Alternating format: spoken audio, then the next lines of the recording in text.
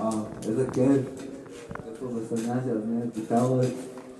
אני לא באתי עם גיטרה בבית היום. כתבתי מהכיר. לא צריך, יש פה מלא גיטרות, אה?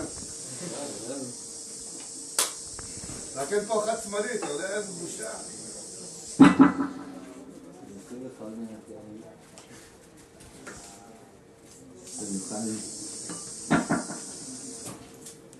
Sailing the